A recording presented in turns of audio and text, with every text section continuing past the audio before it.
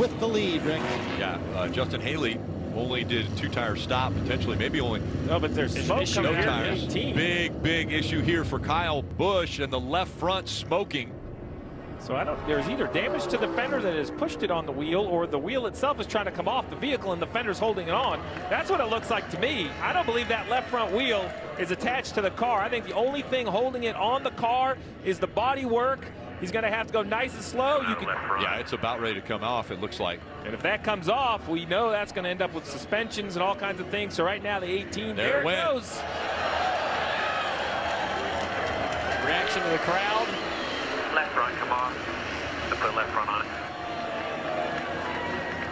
Fans either love him or they hate him. Yeah, polarizing figure there with Kyle Busch, even in his home city. And that wheel will stop on the inside wall and